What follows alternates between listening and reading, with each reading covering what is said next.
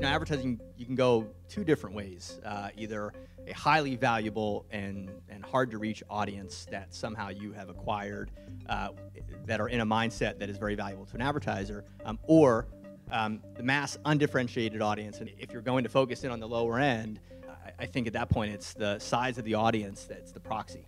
Uh, and the activity levels of the audience. Google's probably a good proxy for this as well, and I think they their approach was to sort of separate um, search, sort of church from state, and the ad teams were trying to figure out how to monetize web search pages without touching the core of the consumer experience. And I think you just gave the ad team a challenge to figure out how to pull it off. If you have a consumer-based product, you have to make sure that you're setting up those paywalls and, and, monetizing based on what you feel is valuable to that user experience.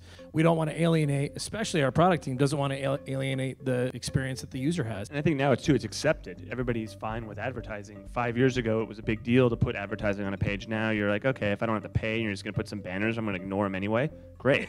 Uh, um, it, but it, it truly, I think that does change when and why you do it. If you have a big audience that's more general public, you're going to get a lower ad rate anyway. So now you have to figure out other creative ways to monetize them versus just an ad network.